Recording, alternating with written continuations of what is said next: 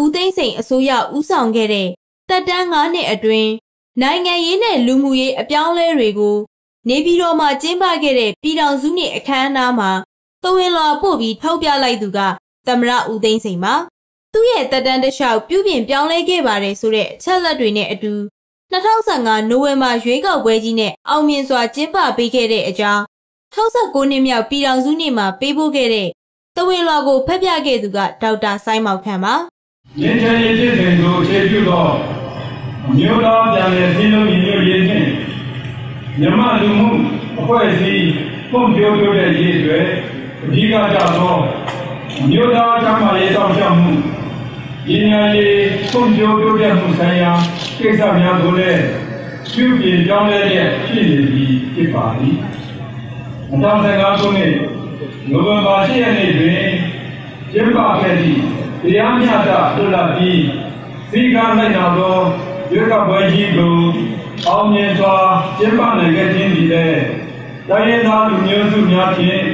ပြည်ထောင်ထားသောပြည်ထောင်စုကြီးညွညွတ်ညတ်မှုကို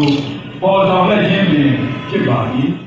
ပြည်ထောင်စုဘဝတိုင်းရင်းသားအရေးတွေမှာသမရဦးသိန်းစိန်ရဲ့ဥဆောင်မှုမအောင်မြင်ခဲ့လို့အစိုးရတစ်ကိုမျှော်လင့်နေသူက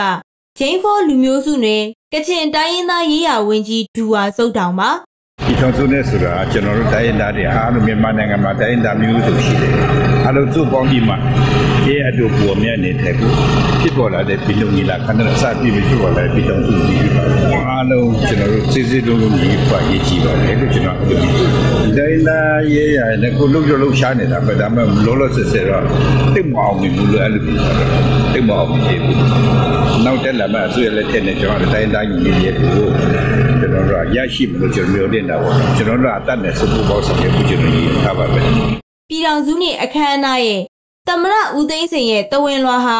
တကယ်တော့နောက်ဆုံးမှာရန်တစ်ခုလည်းဖြစ်ပါတယ်။အခုဒီလက်ရှိအုပ်ချုပ်နေခဲ့တဲ့ဟောပေါ့သမ္မတကြီးဦးသိန်းစိန်ရဲ့ဟိုနောက်ဆုံး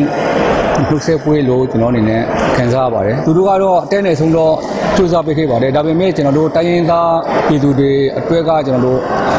တိတ်ထူးထူးခြားခြားဘာမှကျွန်တော်တိုးတက်လာတော့ကိုကျွန်တော်မတွေ့ရပါဘူးခင်ဗျာကျွန်တော်တို့ကတော့အတဲနဲ့ဆုံးတော့ကျွန်တော်တို့လာမယ့်အစိုးရတိုက်လက်ထက်မှာ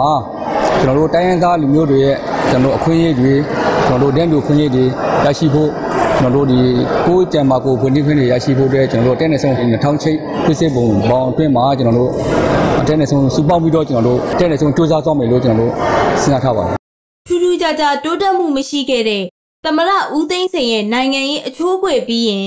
တိုင်းရင်းသားလူမျိုးတွေရဲ့ဒန်းတူအခွင့်အရေးတွေကိုရရှိဖို့ကိုယ်ကံကြမ္မာကိုကိုဖန်တီးနိုင်ဖို့တိုင်းရင်းသားအမတ်အများစုကလည်း2008ဖွဲ့စည်းပုံကိုတိုက်ပွဲဝင်ကြဖို့ရှိနေပါတယ်